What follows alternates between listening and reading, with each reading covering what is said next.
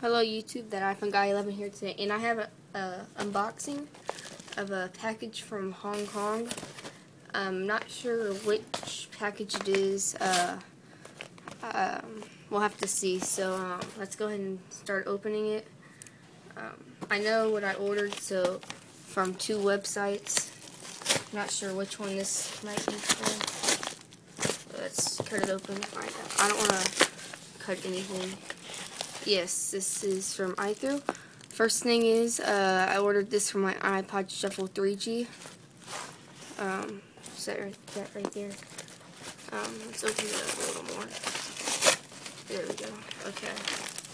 Then here we have a, a bumper case for the iPhone 4 and 4S. Um, just rubber band. Then right here, um, we have a 30 pin cable.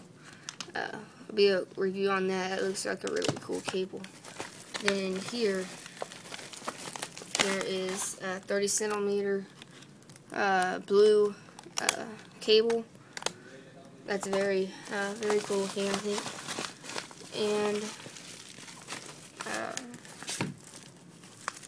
making sure that is. I thought I ordered one more thing. Oh well. Anyways, here's a block, Apple block, fake one, generic. I ordered a 30 meter cable, or, th or another cable. Oh well, okay. Anyways, uh, this is a very quick unboxing. I just realized that.